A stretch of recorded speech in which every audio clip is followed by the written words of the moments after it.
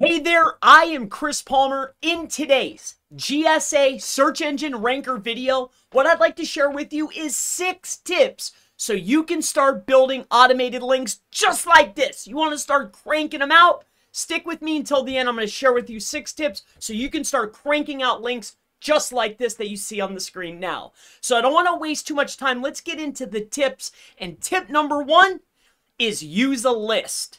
So utilizing a list, much like I am, in order to be able to have submitted links and verified links and be able to start with have a starting point instead of scraping consistently and dragging out time start with a list.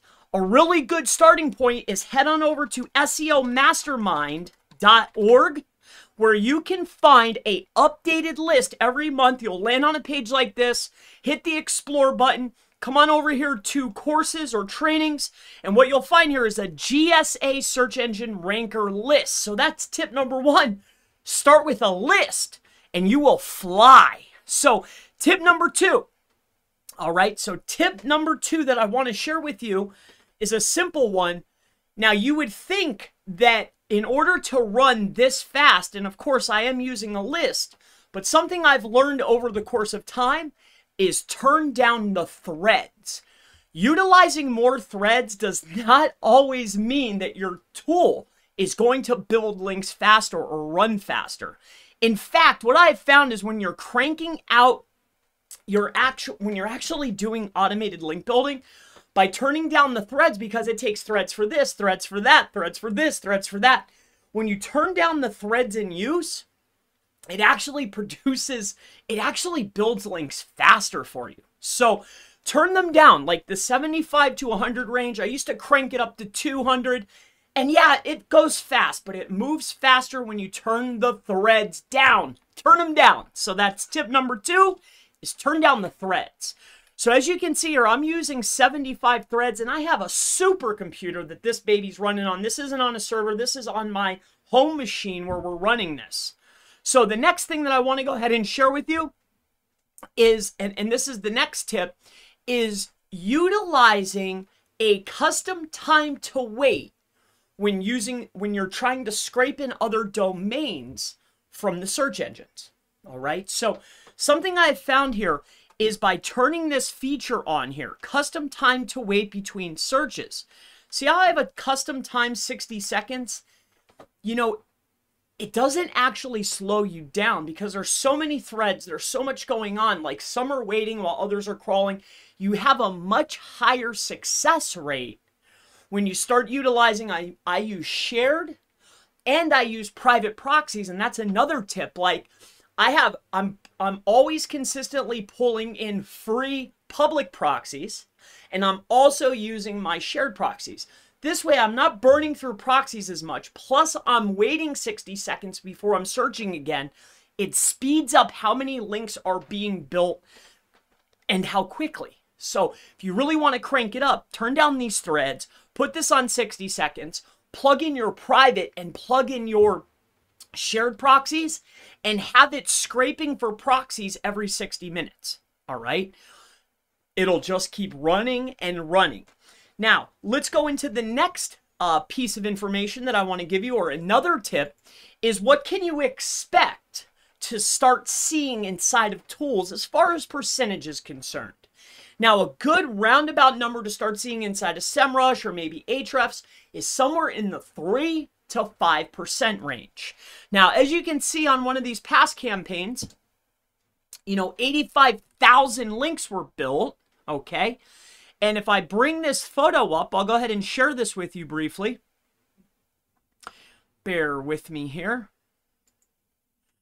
I'll share this with you right now. If I come over here to Paint, I took a quick screenshot. I'll go ahead and share this with you. Paste. As you can see, you know, we did that past campaign.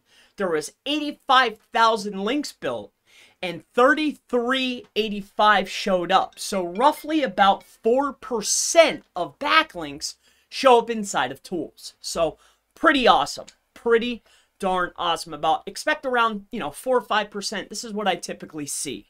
All right. So just to give a quick recap, and again, we're going to go ahead and give you some more tips. Stick with me here. So again, if you're, if you, like this is imperative, turn down the threads, okay? Turn up the 60 seconds. Use shared and private proxies. That's always, always scraping. Put this on 60 seconds. Turn down your threads. And then also, too, start with that list. You can get a starter list with me. There's a lot of offers out there available. Or, eh, or not or, and let me give you another tip here. Use CAPTCHA Breaker. But now I want to go ahead and share this with you here. So as you can see here, one of the other reasons why we're able to start cranking the way we are is we are utilizing CAPTCHA Breaker. And as you can see, like we have been answering uh, CAPTCHAs all day long. I think right now it's in the verification phase, so we're not submitting right now.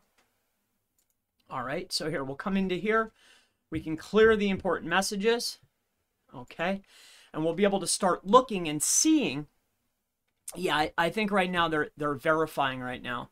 Uh, because I don't see anything clicking away right now. Yeah, do follow is going up. So the list is going up. It's starting to verify. See the verification list? So it's starting to verify links. All right, so that's why it's probably CAPTCHA Breaker isn't solving at this present moment. But here's the tip I want to give you. All right, so if you take a look at this, all right, if you click on this button right here that says SDK, now every now and again, maybe once a month or every other month, here's what you want to make sure you're doing. There's a button in here that says auto improve. All right, now I do this generally when I want to run a big campaign come inside of here and auto approve the captchas. It'll probably take about 10 minutes, but it, if you have invested the $100 in the tool, another $100 inside a CAPTCHA breaker, make sure that you use the auto approve feature. It will massively improve the amount of links that you're able to build on an hourly basis. Okay, so uh, that's another tip. The other piece is, is if you get uh, this particular tool here, GSA, Make sure you're running a web server. All right, it's it's actually mandatory. The next piece is is make sure that you're auto approving the captchas. So that's inside of here, like or auto updating the captchas. So make sure you're doing that. And there's one more piece. When you're looking inside of the features, make sure that you're saving the captchas that are solved. This way it, it happens even faster. And then if there's any ones that are hard to solve that it's kicking to the side, there's a feature right inside of here. I, I can't click it right now because it's running, but make sure anything that it doesn't solve, make sure it saves that image. You can go in there. There'll only be 20 or 30 of them. Go in there and solve it and then save the image. Th these captchas will come up again. It will massively and drastically increase the amount of links that you're able to produce on an hourly basis. So I hope that these tips have helped you out starting with the list, turning down the threads, and there's one more thing too that I want to share with you. There's one last tip. I'm trying not to make this video too long, but let me give you one more tip here.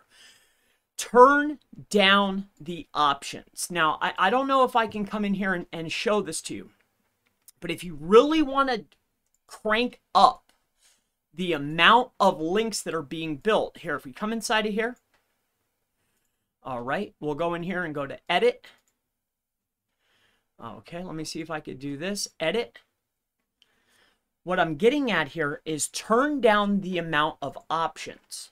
So like if you're trying, if you know, just simply changing the amount of outbound links that you're willing to post to will significantly increase the amount of links that you're able to output.